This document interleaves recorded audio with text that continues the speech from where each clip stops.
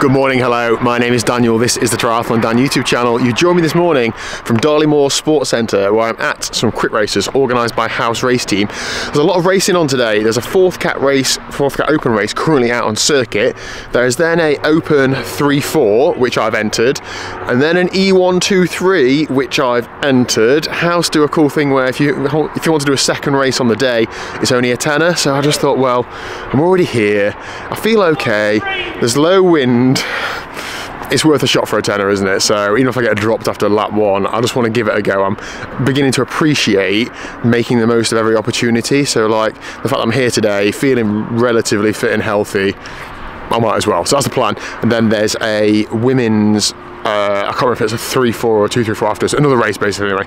So a full day of racing. Uh, I've also got six teammates here today. I say teammates, we're in the same club. We're not a proper race team, but it's cool to have some mates like in the bunch that we ride with. So maybe we'll try and do some sort of team tactics. I don't really know. It never really works when we plan that.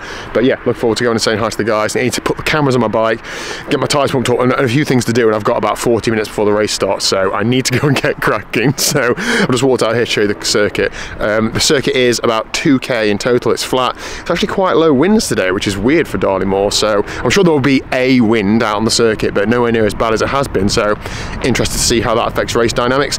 And the 3-4 is a big race. There's about 60 riders signed on already, so it's going to be it's going to be big. Morning, chaps. This is about 30% of the team today. Wayne and Lee, how are we feeling? Tired. What's up with you? It's all this triathlon training, mate. I'm swimming every night. Lee, burning the candle at both ends. Lee texted me at the beginning of this week his swimming plan, and it was like, well, it was like you were swimming every day. Yeah. I read it, and I thought, oh, that's too much swimming for me. Is it going well? Got to get better, mate. the only way to get better is to do it, isn't it? Have you seen Hugo Milner? I haven't. Shall oh. I ask oh. him for some tips? Yeah, well, he is here today, and he said he'd like to try and get his third cat today. I don't know if he knows you can only get 10 points when you need 12, but uh, he's ready to get stuck in. I said, look, Hugo, I'll be your teammate if you want. He was like, yes, Dan, finally. I've been waiting for you to ask. So he said. Wayne, we're all ready? Yeah, I think so. Yeah. We'll see, won't we? Yeah, every race we've done here so far this year has been windy as hell, hasn't it? So today's a bit different that it's not that windy. So we look forward to seeing how that affects the race dynamics. And we have, we have seven riders now for South Normanton? Uh, Something like that. Big turnout. Yeah, six of us. And we've got a free entry because if you get five entries, you get one free one. So we obviously love that. He's anyway, having the free one. Dean had it signed on, didn't he? Ah, nice. I know. I thought he'd get a round of coffees in, to be honest, but yeah, obviously not. Anyway, I'm going to try and get back. Oh, Wayne, you'll be glad to know, Anne Lee, I've got a new skin suit that you can't see my bum through. A bit disappointing. I won't be riding behind you as much now then. oh dear. As is always the case, I find myself not having very much time at all before these races. I'd love to do loads and loads of vlogging, dribbling, but um, just not possible. Right, bike is ready. I am ready. New skin suit and aero bridge underlayer.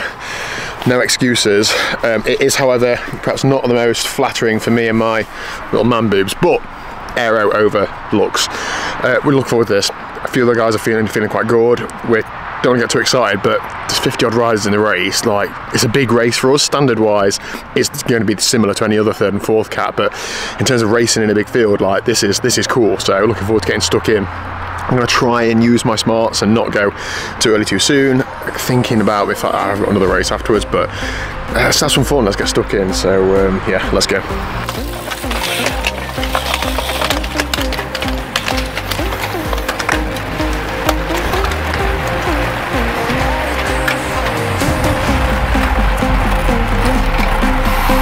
So tempting, isn't it?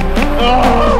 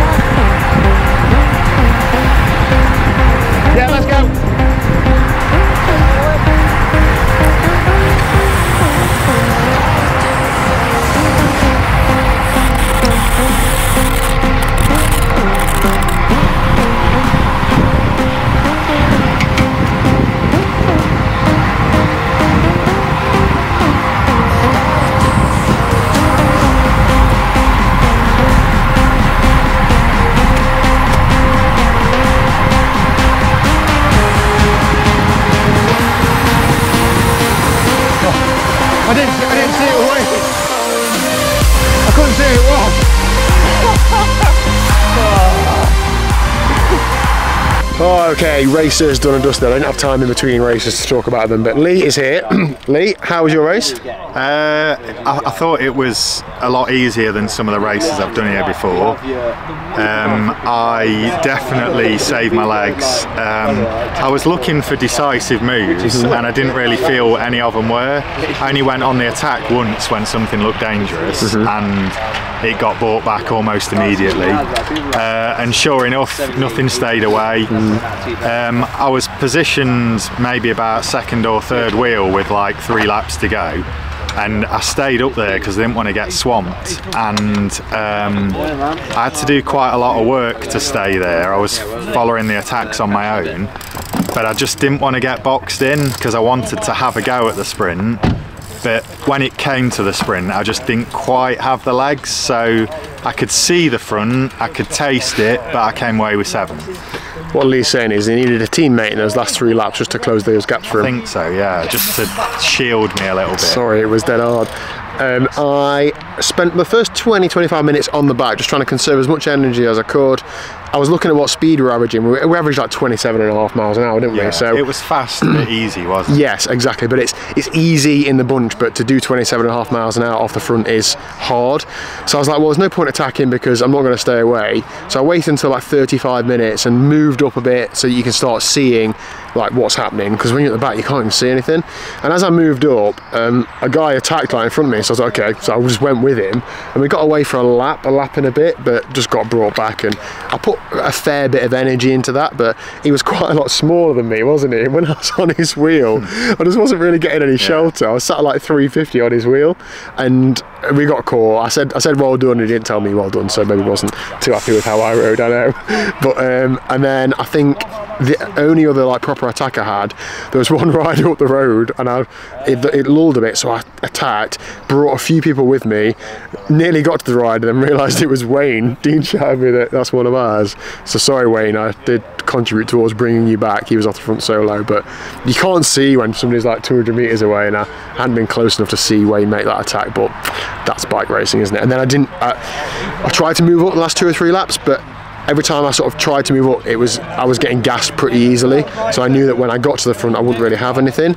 In hindsight, I think I should have probably tried a bit harder to get there to try and be of some help to you. But I just I just didn't back myself to be of any use, and I feel like it's it's worrying to like go right, get to the front, right, Lee, follow me, and then to leave you with some more to do than planned. So. there's, you know, it's easy to coulda, woulda, shoulda. Yeah. I mean, to be honest, Hugo Milner was doing quite a good job of keeping the pace high for the last few laps. So Yeah, well done, Hugo. Likes Yeah, chasing thank every you. every single attack, doesn't he? yeah, he was like our sort of unofficial teammate. Well, I think he's our teammate. He's sponsored by HUUB. Yeah. And Lee is now technically sponsored by HUUB because they've sent you they sent yeah. you a new wetsuit to use for your gravel sprint yes, next week. can't wait. So yeah, we're teammates with Hugo. Nice Absolutely. one. Uh, and then I did the E123. I say did. I lasted 28 minutes before I got dropped, but there was just no recovery in it. It was full, it was on the whole time, and there was only half an hour in between races. I don't think I did enough riding in between the races. I should have kept spinning around a bit, but I just felt a bit like sluggish from the start. But I got into it, and I trying to conserve energy and trying to follow the wheels and so on. But we'd averaged like I think I averaged 28.6 miles an hour on that one. So and I normally was like 320 watts, and after having already raced for an hour. It's tough, but it was only a tenner. I lasted half an hour, a bit more training in the bank, so dead happy that I did it. And uh, I think I've even tempted Lee to doing it next time. So Liz did tell me she'd be over the moon if you could last half an hour.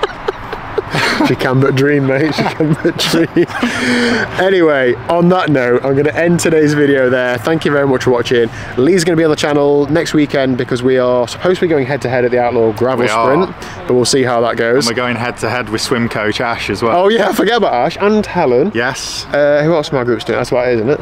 Uh, that I can remember yeah, right now. so. Yeah. So yeah, look forward to that. Anyway, Lee, thank you for coming out racing today. Oh, cheers, Dan, and well done in the E123. It did look pretty difficult, so Thanks. I'll make you anything know, look difficult. uh, but at least you like gave it a go, which is more than can be said for the rest of the SNCC fraternity. Somebody did shout me if I was Paul.